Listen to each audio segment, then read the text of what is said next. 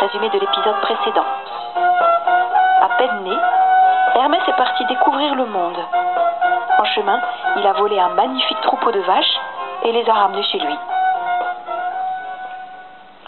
Lorsque le soleil se leva à nouveau, Hermès se sentit plus fort et plus grand. Assis par terre à l'entrée de la grotte, il se mit à jouer avec sa carapace de tortue. D'abord, il imagina que c'était un bateau. Il souffla